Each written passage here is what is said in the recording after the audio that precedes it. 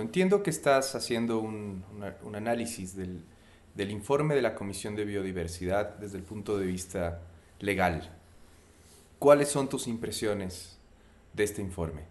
Eh, bueno, el, el, yo, yo, le veo bastantes fallas de, de fondo y de forma.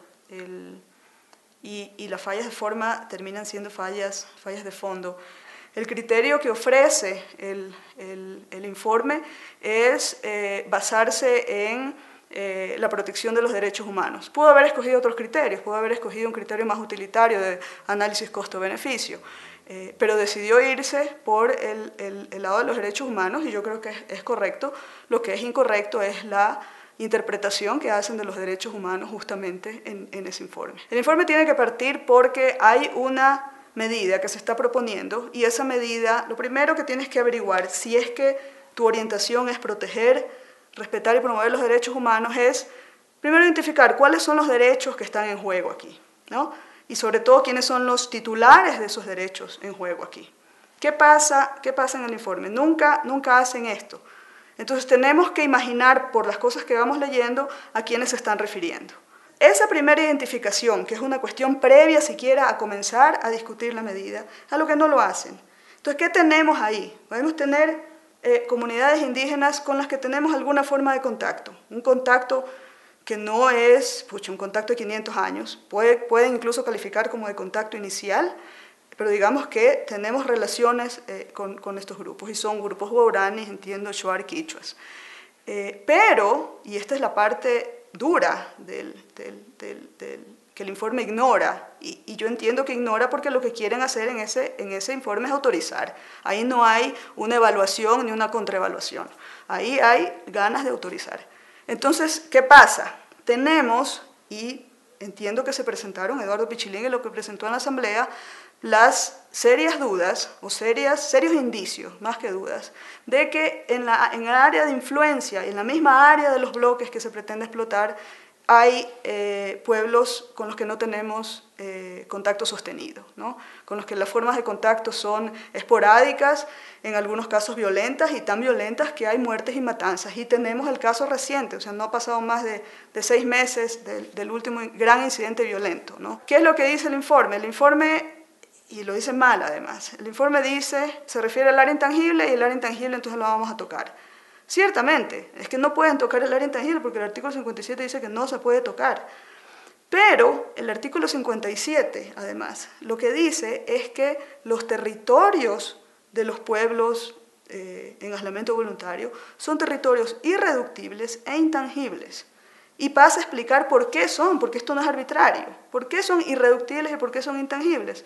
Porque resulta que son pueblos que por su situación en particular tienen unos derechos adicionales, unos derechos que merecen una mayor protección que pueblos indígenas en general, y estos son el derecho a la vida como ellos la viven, porque no solamente aquí se trata de no matarlos, se trata de que se les permita y que tengan las condiciones para la vida como ellos la viven. Eh, el otro tema es la autodeterminación y el otro tema es de su decisión que parece manifiesta y evidente de permanecer en, en, aislamiento, o por lo menos de no tener contactos sostenidos. Eso es lo que prevé, eso es lo que busca proteger esta idea de que sus territorios sean irreductibles y sean intangibles. ¿Qué pasa frente a esto? Ocurre en la realidad que tenemos desde el año 99, entiendo, este, establecida lo que se llama la zona intangible Tagaeri y Toremanane, que fue establecida en parte por, eh, o en gran parte, creo que la razón básica es, es, resguardar ese territorio para ellos, tienen una serie eh, de garantías. Ese territorio no se demarcó sino hasta el 2007. ¿Qué pasa en la demarcación? Y están ahí, se han presentado en la Asamblea personas que conocen el caso de adentro, que dicen que la demarcación tuvo que hacerse no necesariamente respondiendo a los criterios más técnicos de si estaban o no estaban, sino frente a la necesidad urgente de parar, de detener la, la, la frontera extractiva, porque si no, simplemente se iban con todo y son pueblos que ya están en estado vulnerable. Entonces, de alguna manera había, había que delimitar. Esa es la razón de la veda a la que se refiere y la intangibilidad a la que se refiere el artículo 57. Entonces, ¿qué hacemos? Nos vamos al artículo 407. El artículo 407 que dice que En efecto, están prohibidas las actividades extractivas en, zona, en áreas protegidas y en áreas intangibles y que excepcionalmente, pues, a través de un mecanismo tal que involucra a la Asamblea, este, se pueda autorizar con, con, a petición justificada o fundamentada eh, del Ejecutivo. Entonces, ¿qué, ¿qué, ¿qué es lo que dicen? Bueno, si la zona es intangible y si se puede utilizar este mecanismo para operar este, sobre la zona intangible, entonces eso incluye al 57. ¿Qué es lo que están diciendo básicamente? Que el artículo 407 prima sobre el 57. No es así. Hubieran podido tomar la vía de el balance de costo-beneficio y obviamente hay una minoría de que serán 300 personas va a perder abrumadoramente pero escogiste la vía más difícil, escogiste la vía de los derechos humanos y entonces en este momento te toca, te toca razonar con el derecho humano por encima de toda consideración. ¿Qué dice el artículo 57? El artículo 57 no dice que el área intangible, ¿cómo se llama? ITT, eh, zona, zona intangible TT, la que fue demarcada en el 2007, es esta zona la que eh, le corresponde a estos pueblos. No, la, ley, la, Constitución es más general y tiene que serlo. La Constitución habla de territorios irreductibles e intangibles que son la posesión ancestral de los pueblos en aislamiento voluntario. es decir, cualquier territorio de ellos es zona intangible. Así no es, cualquier pero zona no toda... intangible es su territorio. Así es, así es. De hecho, hay zonas intangibles que no son además territorio eh, eh, de pueblos en aislamiento voluntario. Entonces, en esas zonas intangibles que no son además territorio de pueblos, de, de, pueblos en aislamiento voluntario, entonces ahí sí podrías aplicar el 407, la salvedad del 407, ¿verdad? A eso sí. Pero este acá no. El territorio de pueblos indígenas es un territorio que es intangible. Y es intangible, insisto, no es por capricho. La idea aquí es que, entre otras cosas, no haya con ellos contactos que estamos viendo que ellos no quieren tener. Si tú permites ahí una actividad donde se puede esperar que haya no solamente contactos, sino además unos impactos que vayan a poner en riesgo todo eso que tú estás diciendo que estás eh, queriendo precautelar, entonces no tiene sentido que tú puedas anteponer una propuesta del gobierno a la idea de que estás, estás precautelando justamente ese, ese, ese derecho. Insisto, y porque, y porque ya vi que sacan el, el, el, argumento de que las directrices de la ONU supuestamente dicen que se puede tener o que tiene, tendrían que hacerse compatibles o tendría que buscarse hacer compatibles el interés económico del Estado en sacar eh, recursos con los derechos de estos pueblos. Lo que pasa es que hay que leer las cosas completas, pues el, párrafo completo que se refiere, al que se refiere esa, esa, esa, disposición en la directriz, más arriba dice que, lo que, que si se podría eh, eh, eh, autorizar actividades en tanto los métodos que, que, que, se requieran para realizar esas actividades sean compatibles con la idea de que no van a ser contactados. Entonces, las cosas hay que leerlas completas. Si es que resulta que es incompatible a pesar de que hagas los esfuerzos, resulta incompatible, ¿qué vas a preferir? ¿El derecho humano o el interés económico del Estado? Cuando te decía al principio que una de las cuestiones previas que tiene que determinar el informe, si es que lo que va a hacer es un balance entre la medida y lo que podría afectar, es justamente eh, identificar eh, eh, cuál es la situación base en este momento. La situación base es lo que está pasando en esos bloques sin intervención. Entonces, ¿dónde vamos a encontrar la línea base? Vamos a encontrarla haciendo un, una, estudio de línea base, una relación de lo que hay ahí, y eso lo haces en el campo. Pero también lo haces con relación a, eh, y esto es legalmente, lo haces con relación a políticas y a leyes y a todos los instrumentos eh, que se refieren al tema que tú tienes a disposición, documentos oficiales quiero decir. Entonces, ¿dónde encuentras? Tienes que buscar los derechos de la naturaleza, tienes que buscar los derechos de los pueblos indígenas, tienes que buscar los derechos de los pueblos en aislamiento voluntario, tienes que buscar el derecho humano al medio ambiente sano, tienes que escudriñar en eso y tienes que buscar cuáles son los objetivos de la zona intangible eh, eh, Tagari Taromenane, los objetivos de la protección del Parque Nacional Yasuní, los objetivos del título eh, WOW, los objetivos de la zona de amortiguamiento, porque eso es algo de lo que no se habla tampoco, la zona de amortiguamiento de la zona intangible. En esas consideraciones también se debe topar la política de eh, Estado. Esa es la última que te iba a mencionar. Y la otra que, que, tienes que tomar es la política de Estado con respecto a esto y otra también más importante, que es la misma iniciativa Yasuní TT. Es la iniciativa Yasuní TT donde nos dicen por qué queremos nosotros mantener esto. Y salen los temas de la biodiversidad altísima que hay ahí, la protección a los pueblos, que entiendo que el presidente de la República mismo salió a decir, bueno, con esa fuerza moral con la que él siempre habla, de que aquí lo que vamos a hacer es a proteger por sobre todas las cosas a los seres humanos que están ahí y que no quieren contactarse con nosotros. Una de las medidas importantísimas es justamente esta idea de, de la precaución, de que en la duda ¿Cuál es la opción que puedo tomar? ¿Sigo con la medida que voy a tomar o mejor digo, ¿saben qué? No la voy a tomar, porque los riesgos y los riesgos con respecto a estas personas de las que no conocemos muchas cosas son tan altos que prefiero no hacerlo. O no lo voy a tomar hasta despejar la duda. Ah, esa es la cuestión. Entonces, lo que te decía al principio, de que el informe, como yo lo veo, parte parte ya de, la, premisa no dicha, posiblemente, de que queremos autorizar y queremos justificar esto. Y RUN entran simplemente a dar todas las razones por las que están justificando. Pero como nunca hacen este balance, nunca tenemos la opción de decir, bueno, ¿cuáles son medidas alternativas que yo le puedo ofrecer al que me está pidiendo, en este caso el gobierno ecuatoriano? Medidas alternativas que a mí me hacen, eh, eh, eh, que yo puedo imaginar y que como asamblea que soy, que soy también parte de del Estado ecuatoriano, estoy obligado eh, eh, a tener la misma cautela que tenía que guiar al gobierno ecuatoriano en la implementación de su política, eso también me aplica a mí como asamblea. Entonces, como asamblea, si yo estoy viendo y me están demostrando que había un mapa en el que aparecían y ahora resulta que cuando ya se necesita implementar eh, lo que no queríamos implementar, es decir, la medida de, de explotar los bloques, resulta que ya no están, entonces a mí me levanta una duda. Y es una duda muy razonable porque veo que se presenta persona tras persona que estuvo trabajando en ese tema y que me dice que ahí hay altas probabilidades o probabilidades al menos de que haya eh, pueblos en aislamiento voluntario. Me presentan estudios cartográficos que justamente hablan precisamente de lo mismo y solamente el que defiende la medida de repente me saca un mapa que antes no tenía y que, perdón, que antes sí tenía y que ahora no tiene eh, ya me queda pues una duda, como yo creo que le queda a toda la sociedad ecuatoriana. Entonces, ¿qué puedes hacer ahí? Ahí puedes decir, de entrada, señores, yo no reviso nada más. Aquí usted primero me despeja la duda.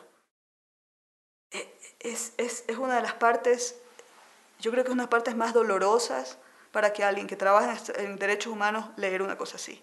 Lo que dice el informe es que legalmente el Estado ecuatoriano puede aplicar el artículo 407 por encima del artículo 57, pero que hay un imperativo ético que nos obliga a mantener la zona intangible intangible.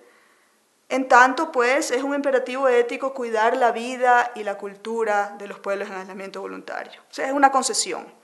No tengo la obligación legal de no intervenir. Podría intervenirla aplicando el artículo 407. Pero yo soy ético entonces, como nosotros los de la comisión somos una gente súper ética, entonces decidimos que no, porque es una obligación ética preservar la vida y la cultura de estos pueblos, pero no es una obligación legal. Eso es lo que dice. Más adelante, ya en la parte en la que dicen, bueno, sí se autoriza, y comienzan a poner un poco de, de saludos a la bandera, la verdad.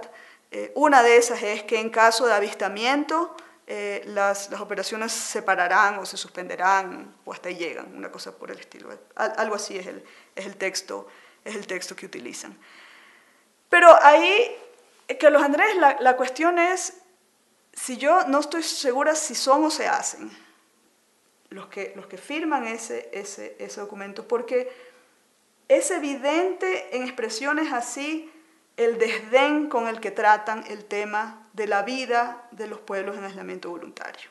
El problema de, las actividades, de las actividades eh, extractivas o las actividades con intensa eh, posibilidad de contacto con los pueblos no es que no se soluciona con que te veo y salgo corriendo, que es más o menos lo que están diciendo. En caso que los vean, salgan.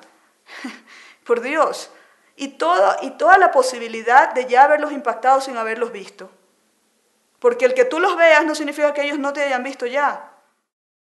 Bueno, ¿hay o no hay pueblos en aislamiento voluntario ahí?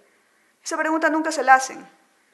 Dan por hecho de que en la zona intangible que no se va a tocar, porque además eso es un imperativo ético, no es una obligación legal. Podríamos entrar, pero no vamos a entrar porque somos buenas gentes. Pero el hecho, tantas veces insistido, de que están fuera de la zona, y no de la zona para abajo, sino de la zona para arriba, que es el, el, el, parque, digamos, y partes del, del, del territorio Guao, donde hay operaciones. Y es muy probable, muy, muy probable también que estén en la zona donde piensan operar o en la zona de influencia donde piensan operar. Y ante eso no dicen nada.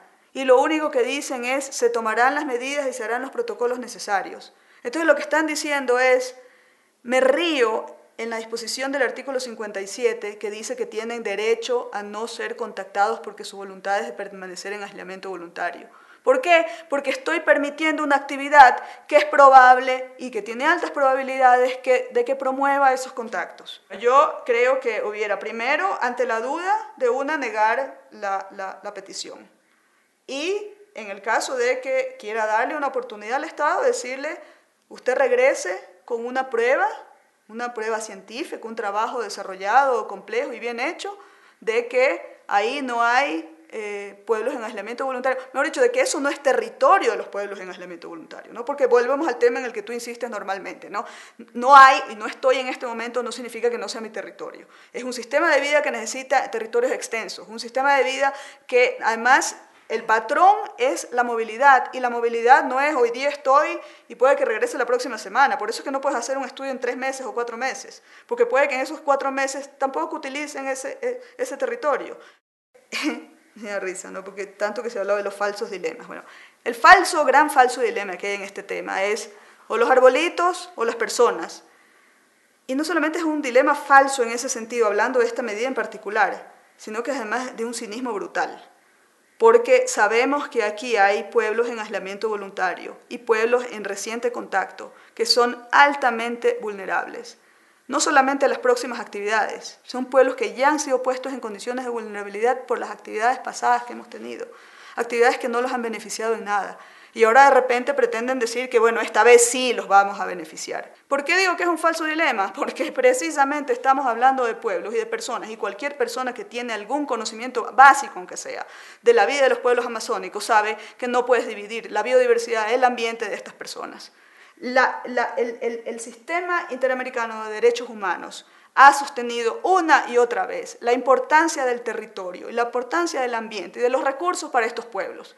Entonces, justamente con ellos no podemos hacer esta división artificiosa de o prefieres la diversidad o prefieres a las personas. Si ves, es, es, es una vida en la que, en la que hay una, una, reciprocidad y un entendimiento que nosotros podemos no tenerlos, pero, pero eso no nos da, eso no nos da eh, eh, razón, eso no, eso no nos justifica que vayamos a meternos en Mucha gente dice que eso es miseria y desconocimiento. De hecho, he escuchado argumentos similares al respecto, sugiriendo que ellos deberían salir de la pobreza, deberían salir a las ciudades, vivir en departamentos, usar tecnología, y ven lo contrario como desconocimiento, pobreza y vida miserable. A ver, varias cosas, porque el deberían, para empezar, es una idea bastante eh, violenta con respecto a lo que nosotros reclamamos para nosotros. Nosotros reclamamos la autonomía del individuo y la soberanía como pueblo, ¿no? Y todos aquí estamos reclamando nuestra esfera en la que nosotros podemos tener una decisión de lo que queremos hacer de nuestras vidas. Pero hay una cuestión más, esa digamos que es la cuestión más filosófica, pero hay una cuestión más práctica, Carlos Andrés. ¿Qué ha significado para esos pueblos el contacto con nosotros, los, los civilizados y los superiores? Miseria y más miseria. Eso es lo que ha significado la vida de ellos, si es que los por ejemplo, los taromenanes, seguramente tienen una vida más funcional con respecto al ambiente en el que viven y a la forma de vida que tienen que la tienen los guaos. Porque para los guaos el contacto fue una cosa espantosa. El contacto los convirtió a ellos en mendigos en sus propias tierras y en extorsionadores en sus propias tierras. Eso es lo que al fin del día son, desafortunadamente. Y yo creo que en el fondo posiblemente esos pueblos, quizás o muchas personas en esos pueblos están, están quizás tratando de, de salir de esa situación. Pero si, si, si, los comparamos a los unos con los otros, pues tú dirás, ¿cuál es la vida más miserable que hay? Yo que trabajo con los Achuar, en una zona en la que no hay intervención petrolera, pero sí hay contacto. ¿Qué, qué es lo que tienen? Tienen unas escuelas que les enseñan, yo qué sé, pues, matemáticas, ciencias, geografía, lo que sea que les enseñan, cosas que no son nada funcionales para sus vidas allá, y que resulta que son de tan mala calidad además, que cuando ellos salen al Puyo, tampoco son funcionales en la vida del Puyo. En la comunidad tienen una casa que es una casa bastante básica, como es su vida ya. Pero los niños están correteando y van y vienen esto. Ese mismo señor, cuando tiene que vivir el Puyo, anda a ver a dónde va a vivir el Puyo. Va a llegar a las zonas más miserables del Puyo. Va a llegar con agua hasta aquí, casi nadando para entrar a su casa. Y cuando tiene que traer a su familia, ellos que tienen unas familias enormes, se tienen que meter en un cuartito este vuelo.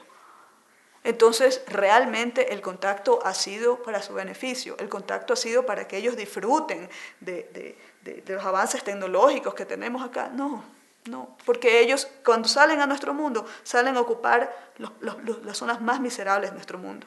Y ahí sí, si me preguntas, yo a ser miserable en este mundo, voy a hacer lo que ellos son muy básicos, ciertamente, con muchos problemas, con muchas limitaciones y con muchos retos en sus vidas pero por lo menos algo todavía tienen allá.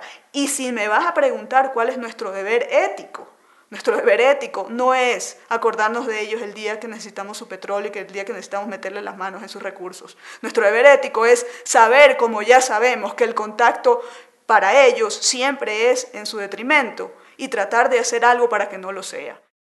Comienzan los pueblos indígenas ya más movilizados, ya más organizados a nivel internacional, hay todo un movimiento y comienzan a presionar a las Naciones Unidas por un, por un instrumento en el que ellos tengan parte, es decir, un instrumento consultado con ellos. Se tardan 25 años en discutir la Declaración de las Naciones Unidas sobre los Derechos de los Pueblos Indígenas y en el año 2007 se firma finalmente la declaración, el Ecuador pues hace como siempre pues esas declaraciones grandilocuentes acerca de cómo nosotros estamos a favor y esto va a ser un instrumento y una herramienta importante para nuestra relación con los pueblos indígenas, etcétera, etcétera. ¿no? La declaración ya es el instrumento no de la consulta, es el instrumento del consentimiento. Y si tú revisas la Constitución, es cada tres, cada tres artículos está en el tema uno, consentimiento para esto, en el tema otro, se buscará el consentimiento, se requerirá el consentimiento, se pedirá el consentimiento. O sea, ya, ya se va constituyendo cada vez más en un principio de derecho internacional del consentimiento. En la Constitución de 2008, eh, la discusión sobre la consulta y esta parte de la decisión de la consulta eh, los pueblos, la CONA y el movimiento indígena planteaban que fuera consulta con consentimiento. Ese, como usted decía hace un momento, fue un momento de gran roce entre, entre, entre el movimiento indígena y el gobierno, y el gobierno de Correa, que, que se niega a aceptar que el, el, el, consentimiento sea parte de... Ahora, aquí en Ecuador sí es un requisito de la consulta. Lo que no es un requisito es el consentimiento, pero sí la consulta. ¿Qué pasa en el caso de los pueblos ocultos? Ni siquiera puedes consultar. No, no, no. Y, eso me olvidé de explicar. La idea de que consultes es lo que te decía, que tú tengas una participación en una medida que te va y que te va a hacer daño, ¿no? Entonces, esa es una, ese es un requisito para todos los pueblos. ¿Qué pasa con los pueblos eh, con los que no tenemos contacto? Bueno, pues que la única forma con la que podríamos consultarles, ni siquiera estamos hablando de consentimiento, pero consultarles sería contactándolos, ¿no? Y eso sería eh, eh, eh, violar el derecho que tienen a mantener su voluntad de estar en, aislamiento. Entonces, ¿qué dice? Es, es, es interesante, insisto ahí, yo, yo, no termino de entender siempre cuál es esta idea de, de tener un, un, lenguaje tan rebuscado, pero las directrices, a las que se refiere también el informe, creo, este, las directrices de la ONU sobre políticas con pueblos en aislamiento voluntario y de reciente contacto, lo dicen. En el caso de pueblos en aislamiento voluntario, tienen derecho a negar su consentimiento, pero por la situación particular de ellos tenemos que entender que están de entrada negando su consentimiento al negarse siquiera a participar en este, en este mecanismo que se llama la consulta. Entonces, digamos, incluso, incluso, si es que fuera a prevalecer esa, esa, esa interpretación, yo digo es, es, totalmente contraria a la idea de protección de los derechos humanos, en el que artículo 407 eh, eh, eh, prima sobre el artículo 57, todavía nos queda, porque los pueblos indígenas en el aislamiento voluntario no solamente tienen los derechos que están en ese párrafo, ellos tienen todos los derechos más esta protección especial por su situación especial. Entonces, ¿qué significa? Ah, tú quieres intervenir porque el artículo 450, eh, perdón, 407 supuestamente te, autoriza. Ajá, ok, anda, consúltalos. Mira, el, tema, el tema del, derecho, de los derechos de los pueblos indígenas, es, es, es en gran parte, si es legal, obviamente, pues tiene que ser en gran parte legal, pero, pero en mucha parte es, es filosofía política. Es, es cómo me relaciono con uno al que le estoy imponiendo unas normas en las que él o ella ni siquiera han tenido participación, empezando no solamente por las diferencias culturales, por una más básica, es que tú no entiendes el idioma del que te estoy hablando. Cuando hay que ir a meterles la mano en sus territorios, en sus tierras y en sus recursos. Ahí sí nos acordamos de la consulta. Y entonces, ¿y, qué resulta? Es que la, la, consulta termina siendo con el potencial que tiene esa herramienta de diálogo intercultural, de entendernos, lo que te decía hace un momento, es deber ético de nosotros saber que el contacto les hace daño porque están en condiciones inferiores. Es nuestro deber ético ir y tratar de, pues, de definir con ellos cuáles son las mejores medidas o las, medidas menos, menos negativas eh, eh, del, contacto con ellos. Ahí la consulta es, una linda herramienta, pero no la consulta resulta que solamente es una herramienta cuando quieren ir a meterle las manos dentro del, petróleo. Cuando van a explicarles, yo estoy segura que la explicación de la explotación petrolera es tres cosas.